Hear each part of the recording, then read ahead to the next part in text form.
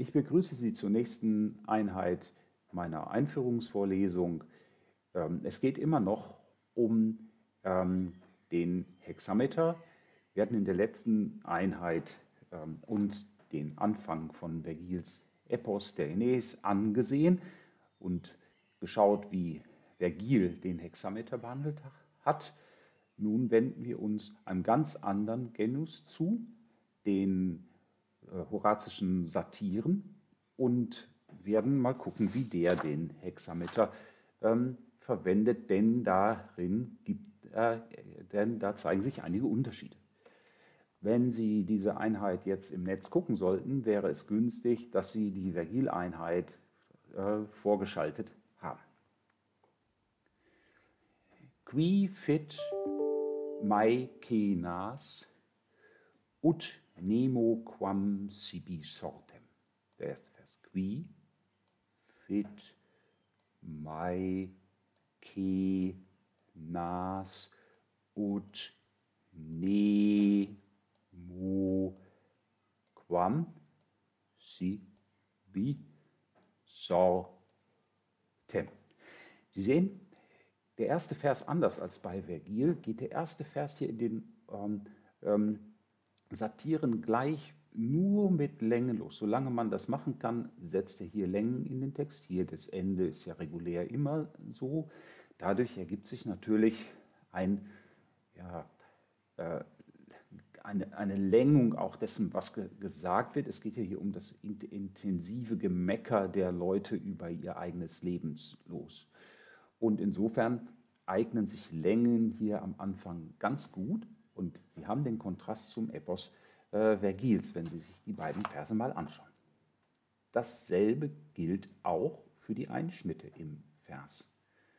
Okay, hier haben wir einen, den können wir gar nicht benennen, den ersten Einschnitt, qui fit. Dann nach Mekinas, Pentimimres und dann nach dem achten, 1, 2, 3, 4, 5, 6, 7, 8, die bukolische Diärese, die sich bei Vergil gar nicht fand in den ersten Zeilen. Und das alles in dem ersten Vers. Sie sehen also den gewaltigen Unterschied. Ne? Man würde natürlich die Hauptzäsur hier legen, aber der Vers ist total ja, zerschnitten, will ich fast sagen, durch drei Einschnitte, die irgendwie alle wichtig ähm, sind. Also zerrissene, zerschnittene, das zeigt so ein bisschen das Satirische. Das Satirische ist darauf angelegt, etwas unausgeglichen zu sein, denn das ist ja so eine Vulgärpredigt, die assoziativ scheint, das ist natürlich alles sehr künstlich, aber das bildet sich auch in diesem Versmaß ab. Und jetzt schauen Sie den nächsten Vers. Soi, ra, ti, o, de, de, rit, soi, force, ob, je, ke, rit, il la. Ne? Also hier das I gesprochen wie ein J vor dem folgenden Vokal. Sie sehen, jetzt plötzlich soi ratio dederit soi force ob jekerit illa. Hier plötzlich startet es dann plötzlich ganz schnell soi ratio dederit los und man sieht also richtig den, äh, den Kontrast ob jekerit und dann, wir suchen in dem Vers wieder verzweifelt nach einer vernünftigen Zäsur. Na gut, hier könnte so eine kleine sein, aber die Hauptzäsur ist ja hier. Und auch die können wir gar nicht benennen. Also eine Abtrennung eines Wortes ganz hinten in dem Vers drin. Hm, den, der Kontrast einerseits mit den Kürzen, die hier plötzlich auftauchen, und dann wieder ein komischer Einschnitt. Con, ten, tus, wie, wat, lau, det, die, wer, sa, se, quen. Ja, dies. Entschuldigung, dies hätte ich natürlich kurz machen sollen an der Stelle, da beim letzten bin ich immer etwas schlampig. Sie können mich deswegen tadeln. So, hier haben wir wenigstens mal nach der Pentemimeris einen Einschnitt, aber Sie sehen, wieder gibt es hier Längen, Länge, Länge, Länge, Länge, Länge, Länge, Länge, Länge. Ich lese das Ganze nochmal vor, wie sich das dann anhört, wenn man das jetzt mal nicht nach den Versen eingeteilt hätte, sondern die Satzstruktur. Qui fit maecenas ut nemo quam sibi sortem soi ratio dederit soi fors ob jecerit illa contentus vivat laudet diversa sequentis. Wie geschieht es mit, mit Zenas, dass niemand mit dem Lob, was ihm die Ratio oder der Zufall verpasst hat, damit zufrieden lebt, sondern Leute lobt, die eine andere, eine andere Lebensweise, eine diverse, eine verschiedene Lebensweise verfolgen. O fortunati mercatoris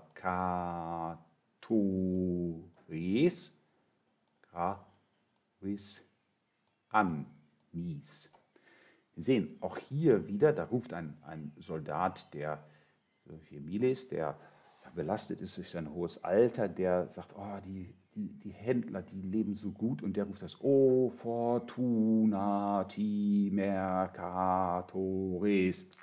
Wir sehen hier dieses gedehnte, vielleicht auch etwas stöhnende Rufen, man ist belastet, die glücklichen Händler.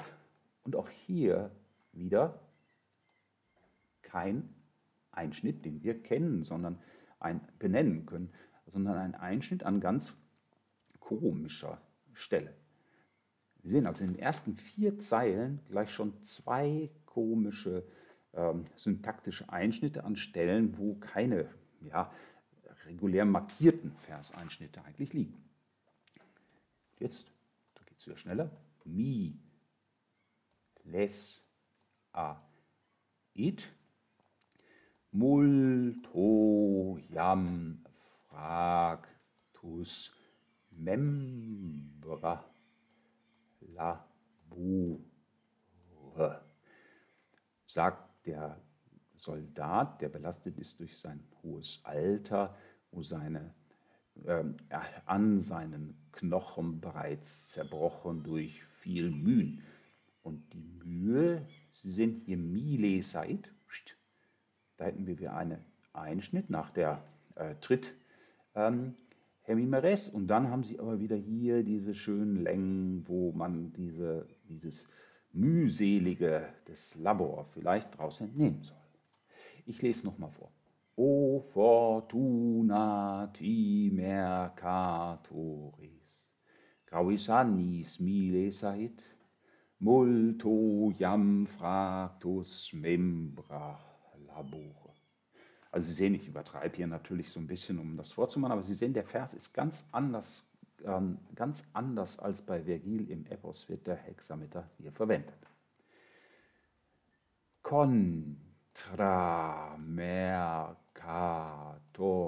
navim jactan tibus aus stris wir sehen auch hier wieder sehr, sehr viele Längen. Der Einschnitt vielleicht hier. Dagegen ruft der Händler, wenn die Südwinde sein Schiff umherwerfen. Wir sehen auch hier wieder sehr, sehr viele Längen. Mi, li, ti, ast, pro, ti, or quid e nim con concurritur horei. Sehen jetzt wieder ein ähm, Vers, und zwar der äh, nur jambisch äh, ist, ähm, fast nur jambisch ist, natürlich wieder im großen, äh, großen Kontrast dazu, hier wird nämlich ausgesagt, dass der, dass der, ähm, dass der Soldat Glück hat, weil alles zu schnell geht. Militias potio, quitte nim concoritur. Da hat man schon wieder die Schnelligkeit, auch das Zerrissene natürlich mit dem Rhythmus hier. Und dann hat man hier einen, immerhin einen vernünftigen, auch wieder einen zerrissenen Vers. Einmal hier im Einschnitt, Pentimibris 1, 2, 3, 4, 5, Heftimibris, quitte nim, okay. Konkurritur und hier eigentlich nochmal der stärkste pointierte Einschnitt, den wir wieder nicht benennen können. Sie sehen also auch da wieder ganz groß, ganze Kleinteiligkeit, die sozusagen den, den Fluss des Hexameters, den wir aus Vergil kennen, zerreißt. Horai, Momento, Kita, Mors, Wenit, Out, Victoria, Leiter. Nicht? Man trifft aufeinander, man stürmt gegeneinander an. Im Moment einer Stunde kommt der Mors schnell, schnell der Tod, kommt der Tod alles schneller, oder ein fröhlicher Sieg. Und Sie sehen hier, Momento ist schön gedehnt, aber der Kitamos, hm, der kommt schnell. Kitamos, schnell gemacht hier an der Stelle, when it, zack, Kitamos, when it. Out, Victoria, Leiter, dann sind wir, das ist natürlich dann ähm, ähm, wieder ein normaler, äh, normales Versende. Auch hier sieht man wieder, okay, Momento, hm, der erste ist komisch, Tritemimeres, da geht es dann kein großer Einschnitt, würde man sagen, ist vielleicht hier ein Einschnitt. Aber Sie sehen, auch da in dem Vers ist kein richtig großer Einschnitt wie hier oben im Prinzip. Ne, und dadurch wird der Vers schnell gemacht. Also Sie sehen, äh, wie die Zäsuren anders gehandhabt werden, also die äh, syntaktischen Einschnitte anders gehandhabt werden im Verhältnis zu den üblichen Hauptzäsuren. Sie sehen auch, wie die Rhythmen, ähm, wie Rhythmen sehr divergierend gehandhabt werden. Eine gewisse Zerrissenheit soll aus, ausgedrückt werden. Nicht? Das sind ja die ersten Verse des ersten Satirenbuch des Horaz, wo praktisch auch programmatisch was vorgestellt wird über das Versmaß.